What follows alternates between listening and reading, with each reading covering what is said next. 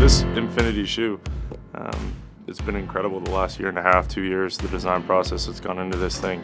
And that's what Nike does best. I think they listen to the athletes, they listen um, to, to us and, and really take the feedback. And then from there, you take one little suggestion and then they're off and running and it becomes a complete new thing. And I think that's where you see, you know, hey, I want, for example, this golf shoe.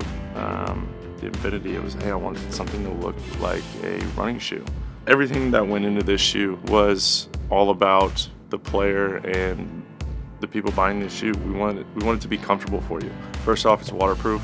You're able to be out in the rain and, and not have the, the socks get wet. But but also there's so many different things, the stability, where, where the stability is placed in this shoe. They were able to get Flyknit into a golf shoe and but yet make it stable.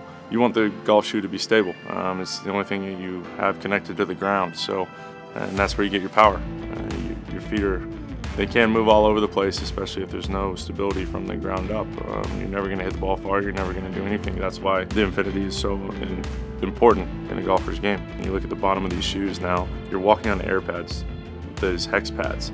Um, there's three of them which you can even see in the shoe. And then these new spikes. Believe it or not, there's more traction with less less spikes. Um, and that's what that's what separates this golf shoe from anything that anybody's ever seen.